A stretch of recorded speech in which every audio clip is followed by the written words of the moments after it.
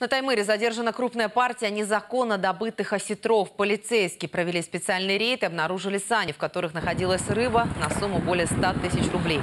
Осетр Сибирский включен в перечень особо ценных диких животных и водных биологических ресурсов. В ходе разыскных мероприятий выяснилось, что к незаконному вылову причастен 46-летний местный житель. В отношении него возбуждено уголовное дело. Максимальный срок наказания для браконьера – три года лишения свободы. Был поставлен, скажем так, вылов рыбы на, ну, нельзя сказать, что на промышленный поток, но на постоянный, скажем так, поток, и он постоянно эту рыбу вылавливал. Вылов осетровых пород на Енисее запрещен. К продаже разрешена только рыба, которая а, выращена искусственно, и у предприятия имеется лицензия для ее производства.